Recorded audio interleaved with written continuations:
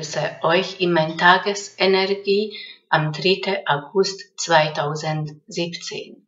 Ich vermittle täglich die Tageshoroskopen und die Tagesenergie. Bis jetzt war die Tagesenergie nichts anderes als eine Abkürzung von die Tageshoroskopen. Die Essenz war aber immer dasselbe. Ich habe etwas verändert, damit nicht so viel Ähnlichkeit gibt.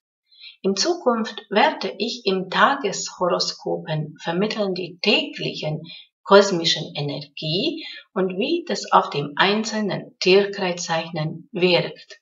Natürlich nach wie vor mit vielen mythologischen Geschichten, weil da handelt sich auch um Sternen und Sternbilder. In Zukunft werde ich im Tagesenergie, da habe ich etwas verändert, das gesamte kosmische Energie beschreiben und in welchem Lebensbereich können wir das vorteilhaft nützen und das gilt für allen Tierkreiszeichen.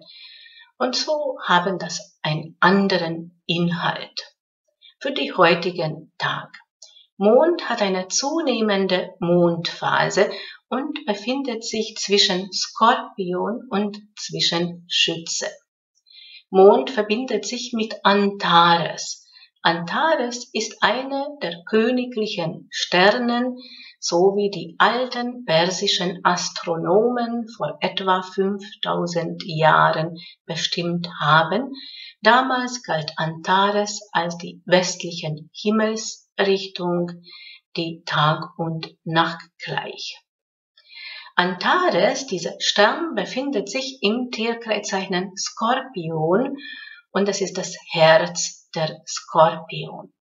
Und für uns gibt ein Botschaft für heute, wir sollen auf unserem Herz, unseren Gefühlen, unserem Herzensangelegenheiten hören. Wie wirkt es auf die einzelnen Tierkreiszeichen? Bei Tierkreiszeichen Skorpion geboren sind es kleinere Veränderungen. Die Skorpiongeborenen können mit ein guter Nachricht, ein wichtiger Termin oder ein Vertrag rechnen. Die Skorpiongeborenen bringen auch ihre finanzielle Situation gerade in Ordnung. Die Skorpiongeborenen brauchen feste Boden unter ihren Füßen. Und gerade sind sie dabei, das zum Aufbauen. Und bedeutet auch das eigene Zuhause, die eigene vier Wände. Entweder da bekommen die Skorpiongeborenen die Kraft, in Familie oder zu Hause zu sein, oder sie setzen die Kraft ein in diesem Bereich. Das heißt, sie verbessern etwas zu Hause oder verschönern etwas oder gibt es Reparaturen und bei einer oder anderen Skorpiongeborenen bedeutet das auch eine größere Veränderung, ein Umzug. Da sind zwar noch Unsicherheiten, Unklarheiten oder ein bisschen Zweifel. Und gerade diese Zweifel sollen die Skorpiongeborenen überwinden. Bei Tierkreiszeichen Schützengeborenen kommt in die kommenden Tagen etwas in Bewegung. Die Schützengeborenen haben Wünsche und Ziele und es sind erreichbar, weil die sind gerade dabei, das in Form zu bringen. Sie dürfen aber nicht daran zweifeln. Die Gespräche führen die Schützengeborenen etwas eingeschränkt. Das kann eine unangenehme Nachricht sein, kann auch bedeuten, dass die Schützengeborenen eine Nachricht oder einen Termin warten und es kommt noch nicht, aber das dreht sich bald. Bei den Tierkreiszeichen Steinbock-Geborenen ist wichtige Thema die Lebensfreude, weil das gibt Kraft. Und das würde ich auch bei den Schützengeborenen empfehlen, weil die Schützengeborenen auch die Freizeitbeschäftigung, die Lebensfreude ist eine Art Befreiung. Und so erleben das auch die Steinbock-Geborenen, aber bei den Steinbock-Geborenen ist es nicht die Befreiung, sondern das inneren Kraft, die Steinbock-Geborenen sind gerade in einer Situation, was die als ungerecht betrachten. Bei vielen Steinbock-Geborenen ist diese Ungerechtigkeit im Arbeitsplatz. Und es ist nicht einfach, nicht leider Ordnung zu bringen. Was die Steinbock-Geborenen hilft, das sind die Gespräche und die Kontakte. Auch in die Liebe, Partnerschaft kommt etwas im Fluss. Vielleicht nicht sofort, aber das nähert sich schon. Bei Tierkreiszeichnen Wassermann-Geborenen ist die wichtige Thema gerade die Liebe, Partnerschaft, aber auch das Arbeit und Pflicht.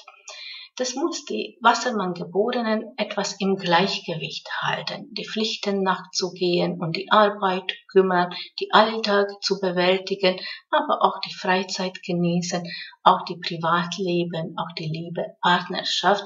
Und da brauchen die Wassermann-Geborenen die Ausgeglichenheit dieses inneren Gleichgewichts. Bis jetzt waren ein bisschen Einschränkungen da. In die kommenden Tagen kommt die Begeisterung und auch die Leichtigkeit.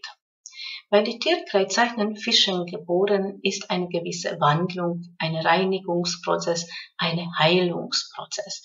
Und diese Heilkraft, was gerade die Fischengeborenen vermitteln und erleben, diese Heilkraft wirkt auch auf die Skorpiongeborenen. Aber zurück zu den Fischengeborenen, das ist eine gewisse Wandlung. Ähm, der Tag beginnt alles mit Leichtigkeit, es ist gut, alles im Fluss. Bis dann Nachmittag und in die kommenden Tagen sind gewisse Unruhe oder Beschränkungen da, dann sollen die Fischengeborenen ein bisschen geduldig sein, bis die kommenden Tagen die Situation sich beruhigt oder verbessert sich etwas. Bei Tierkreiszeichen Wiedergeborenen ist ein wichtiges Thema, beruflich angekommen zu sein oder die wahre Berufung leben oder Anerkennung zu bekommen. Viele Wiedergeborenen suchen ihren wahren Berufung oder nutzen sie die Chancen, Möglichkeiten für Selbstständigkeit und starten etwas Neues und die Möglichkeiten und die Kraft ist da. Die Gespräche, die Termine, die Verträge sind noch unsicher, unklar, aber das dreht sich alles, da kommt wieder die Klarheit rein. Aber Mut und Kraft und Möglichkeiten, das haben die Wiedergeborenen. Und die kommenden Tage kommen Einflüsse von außen und es unterstützt die Wiedergeborenen. Bei einigen Wiedergeborenen ist auch eine Reise eine hat eine Bedeutung. Bei Tierkreiszeichen Stiergeborenen ist auch wichtig die Beruf und die Berufung, aber das aus anderen Gründen, nicht wegen Ansehen oder äh, die Berufung zu finden, sondern die Stillgeborenen such, suchen die Sicherheit und Stabilität und sie möchten Finanzen, finanziell auch etwas verbessern. Und da haben die Stiergeborenen gerade gute Chancen. Auch die Gespräche helfen dabei, auch die Kontakten helfen dabei, aber auch die eigenen Kraft wobei teilweise fühlen sich die Stiergeborenen momentan etwas erschöpft und kraftlos. Aber in die Liebe-Partnerschaft läuft alles wunderbar in die nächste Zeit bei den Stiergeborenen. Bei den Zwillingsgeborenen ist ein Aufstieg und hier wird in die nächste Zeit auch äh, die berufliche Situation wichtig sein, weil die Zwillingsgeborenen starten etwas Neues oder möchten sie etwas erreichen und äh, die Möglichkeiten, Chancen ergeben sie sich. Momentan sind noch ein bisschen Einschränkungen da, ein bisschen Geduld noch, weil das geht nur mit Leichtigkeit. Bei Tierkreiszeichen Krebsgeborenen ist ein wichtiges Thema die Freundschaften, Bekanntschaften, die Freizeit, die Menschen, die gleichgesinnte Menschen wie ein Hobby oder ein Verein oder eine Partei, aber auch die Liebe, Partnerschaft. Die Krebsgeborenen können auch mit einer guten Nachricht rechnen oder mit einem wichtigen Termin. In die kommenden Tagen werden die Gefühle etwas durcheinander kommen oder kommen gewisse Unsicherheiten werden da sein, besonders wenn es um die Liebe Partnerschaft geht. aber sie sollen diese inneren Unsicherheit überwinden, auch die Ängste überwinden. Bei Tierkreiszeichen Löwengeborenen, die brauchen die Gleichgewicht, ein gewisser Ausgleich und gut orientieren. Es gibt Situationen, wo das wichtig ist, dass die Löwengeborenen ihre Meinung vertreten und haben eine selbstbewusste Auftreten. In manchen Situationen ist es vielleicht zurückhaltend sein und schweigen. Jemand kehrt zurück und es ist in den nächsten Tagen, Wochen ist zum Erwarten. Bei Tierkreiszeichen Jungfrau geboren sind Gesprächen, Kontakte, Handlungen. Die Jungfrau geborenen ist auch ein wichtiges Thema, gerade die Werten und immer noch das eigene Selbstwertgefühl und die Finanzen und das äh, in Ordnung zu bringen, weil das ist die große Thema gerade bei den Jungfrau geborenen. Im Liebepartnerschaft kommt auch etwas im Fluss. Bei Tierkreiszeichen Wagengeborenen ist wichtig die Sicherheit, Stabilität und die Gerechtigkeit. Sicherheit, Stabilität, Kraft und Mut und Orientierung verspüren die Wagengeborenen. Aber die Gerechtigkeit, das belastet noch die Wagengeborenen, weil viele haben eine Situation, was die als ungerecht empfinden und damit verlieren sie das inneren Gleichgewicht, Gleichgewicht oder das Vertrauen.